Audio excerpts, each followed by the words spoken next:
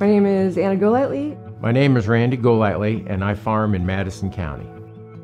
Now, here in our farming operation, we have a cow calf operation, run about 150 cows, have a, a group of purebred Herefords, and the rest is commercial.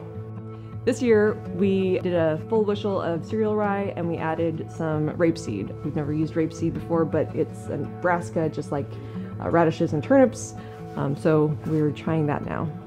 Back in 2013, there was a lot of momentum building for cover crops, and there was a lot of cost share sources becoming available. So the thing that kind of made the difference for making that decision to begin with was that there was financial assistance available to uh, help start using that practice. So we first used uh, the Environmental Quality Incentives Program for several years, and that was kind of the, the thing that kicked it off.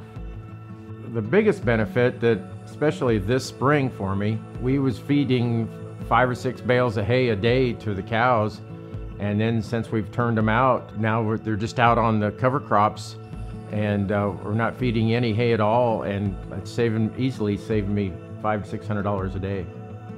I am. I've been excited about cover crops ever since I kind of learned about them as as a tool, and I I think that there's so many different jobs they're doing out there. You know, if it was just like oh, just like stop the erosion, well, that's great. I am all about stopping the erosion.